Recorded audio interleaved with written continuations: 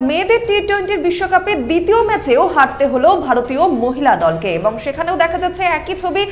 একেবারে কিন্তু T twenty দ্বিতীয় ম্যাচেও হেরে ফিরতে হচ্ছে ভারতীয় মহিলা দলকে এবং সেই ম্যাচের দিকে অবশ্যই নজর রাখব। ঠিক কি কি হয়েছিল? কার, কাদের ভূমিকা সব থেকে বেশি এই পারফরমেন্সে চোখ ধাঁধানো দুটি ক্যাচ এবং বল হাতে চার উইকেট ব্যাট হাতে চৌষট্টি বলে আটচল্লিশ রান। তবু নিউজিল্যান্ডের বিরুদ্ধে দ্বিতীয় ওয়ানডেতে ভারতের হার বাঁচাতে পারলেন না রাধা যাদব। তিন ম্যাচের সিরিজে রবিবার ছিয়াত্তর রানে জিতে সমতা ফেরালো নিউজিল্যান্ড এবং এই দিন শুরু থেকেই শাসন ছিল সদ্য টি টোয়েন্টি বিশ্বকাপ জয়ীদের। তাদের দুই ওপেনার সুজি বেটস সত্তর বলে আটান্ন ও জর্জিয়া প্লিমার বিরানব্বই বলে সাতাশি রান করে যোগ করেন প্রথম উইকেটে। শেষ পর্যন্ত ষোলোতম ওভারে দীপ্তি শর্মার বলে প্রিমার শট মিড উইকেটে ক্যাচও তোলেন এবং রাধা তার ডান দিকে শূন্যে শরীর ভাসিয়ে দিয়ে বল তালুবন্দি করেন। ফলে প্রিমারকে ফিরে যেতে হয় পঞ্চাশ বলে একচল্লিশ করে। এরপরে বত্রিশতম ওভার কভার অঞ্চলে আবার একটি দুর্ধর্ষ ক্যাচ নেন রাধা। প্রথম ম্যাচ খেলতে নামা প্রিয়া মিশ্রর ওই কভারের, ওই ওভারের দ্বিতীয় বলে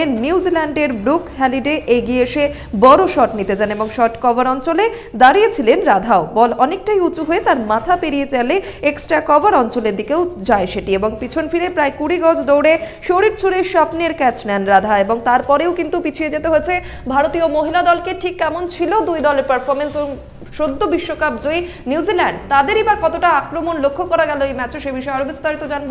সরাসরি চলে যাব নিউজ রুমে পলকদা গতকাল যেটা দেখা গেল যে মেয়েদের এবার কিন্তু একদিনের ওয়ান ডে ম্যাচেও কিন্তু দ্বিতীয় ম্যাচে সেখানেও হারতে হচ্ছে, হারতে হলো ভারতীয় মহিলা দলকে। সেখানে শুরু থেকে নিউজিল্যান্ডের কি পারফরমেন্স ছিল এবং ভারতীয় দল এত চেষ্টার পরেও কীভাবে পিছিয়ে গেল? প্রথম কথা হচ্ছে ভারতীয় দল ব্যাটিং ব্যর্থতার জন্য হেরেছে সোজা কথা। তারপরে নিউজিল্যান্ড যথেষ্ট শক্তিশালী দল। প্রথম ম্যাচটা নিউজিল্যান্ডকে হারানোর পরে নিউজিল্যান্ড জানো যে সদ্যসমাপ্ত টি টোয়েন্টি বিশ্বকাপে নিউজিল্যান্ড চ্যাম্পিয়ন হয়েছে। এই মুহূর্তে ওদের মানসিক জায়গাও খুব ভালোভাবে ভালোভাবে রয়েছে ওরা। সেক্ষেত্রে প্রথম ম্যাচটা ভারত কিন্তু যথেষ্ট দাপটের সাথেই জিতেছিল কিন্তু গতকালের ম্যাচটাতে নিউজিল্যান্ড প্রথমে ব্যাট করে অনেক বড় রান তোলে। আর এই যে রাধা যাদব যার কথা বলা হচ্ছে সে শুধু দুরন্ত ক্যাচ নেয়নি কালকে। তার আগে ব্যাট হাতে ন নম্বরে নেমে আটচল্লিশ রান করছে বলাতেও চারটে উইকেট পেয়েছে। এমন একটা অলরাউন্ড পারফরমেন্সের পরেও ভারতকে জেতাতে পারলেন না রাধা যাদব। দ্বিতীয় ওয়ানটাতে ছিয়াত্তর রানে জিতে সিরিজে সমতা ফেরালো নিউজিল্যান্ড মানে খুব বড় সড়ো ব্যবধানে জিতেছে, কারণ নয় উইকেটে দুশো উনষাট রান তুলেছিল। আর তাদের দুই ওপেনার সোফিয়া ডিভাইন উনআশি আর সুজি বেটস আটান্ন। এরা ওপেনিং জুটিটাতেই খুব ভালো। ওদের ওরা বরাবরই এই ওয়ার্ল্ড কাপে ওরা যে টি টোয়েন্টি ওয়ার্ল্ড কাপ জিতেছে, ওদের কিন্তু ওপেনাররা ভীষণ রকমভাবে এটা সবসময় বড় জুটি দিয়েছে এবং দলকে নির্ভরতা দিয়েছে দুই ওপেনার তারপরে পরের দিকে জর্জিয়া প্রিমার সেও একচল্লিশ রান করেছে।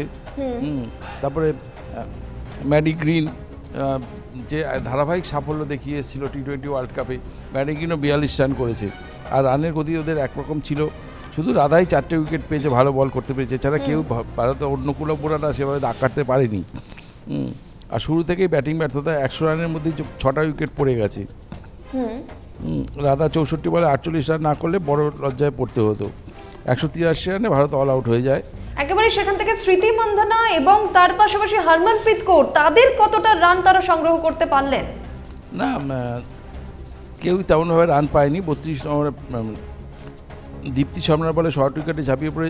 ক্যাচটার কথা যেটা বলা হচ্ছে যে এই ক্যাচটা নিয়ে কিন্তু এর আগেও একটা ক্যাচ নিয়ে আলোচনা হয়েছিল যে ফিটনেসের চূড়ান্ত পর্যায়ে যায় জায়গায় না থাকলে এইরকম ক্যাচ নেওয়া যায় না।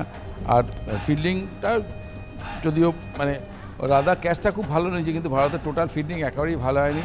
আর কালকে সব দিক থেকেই পর্যদস্ত হয়েছে মানে বোলিং ব্যাটিং সব দিক থেকেই ভারতীয় দল পর্যদস্ত হয়েছে নিউজিল্যান্ডের কাছে। একেবারে সেখানে ভারতীয় দলের তরফ থেকে বা নিউজিল্যান্ডের তরফ থেকে যাদের ভূমিকা সব থেকে বেশি তার মধ্যে ম্যাচের সেরা কাকে দেখা গেল? দেখো গ্রিন প্রথম থেকে মানে টি টোয়েন্টি ওয়ার্ল্ড কাপ থেকেই খুব ভালো খেলে আসছে হ্যাঁ। আর ওদের ওপেনার দুজন যথেষ্ট ভালো খেলছে কাজেই নিউজিল্যান্ডে কালকে একচেটিয়া মানে ছিয়াত্তর রান বড়সড় ব্যবধান। সেখানে ভারতের না ভারতের ওপেনাররা দাঁড়াতে পেরেছে না মিডল অর্ডাররা দাঁড়াতে পেরেছে। আর এখন কিছুটা পরীক্ষা নিরীক্ষা দিয়ে চলছে ভারতের বেশ কয়েকজন নতুন খেলোয়াড়কে নেওয়া হয়েছে। তবে এই সিরিজে এখন আর একটি ম্যাচ বাকি আছে। অত তারপর তখনই মানে এখন এক এক হয়ে গেল দুটো ম্যাচের মধ্যে। শেষ ম্যাচটা থেকে ডিসিশনটা হয়ে যাবে যে কারা সিরিজটা জিতবে।